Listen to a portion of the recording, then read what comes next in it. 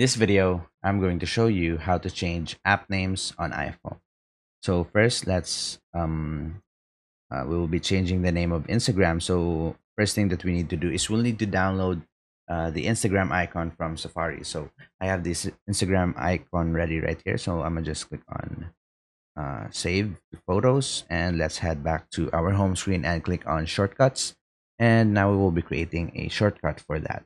Click on the plus icon on the top right here and click on the open app. So once you've clicked on open app, search for Instagram because that will be the app that we will be opening and click on the plus or the drop down uh, arrow.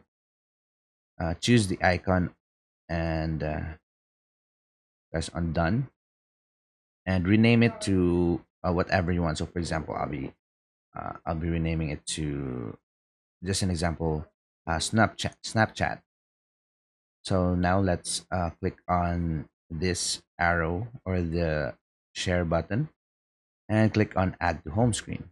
So now um, click on the photos right here and choose photo, which will be the Instagram icon that we have ready.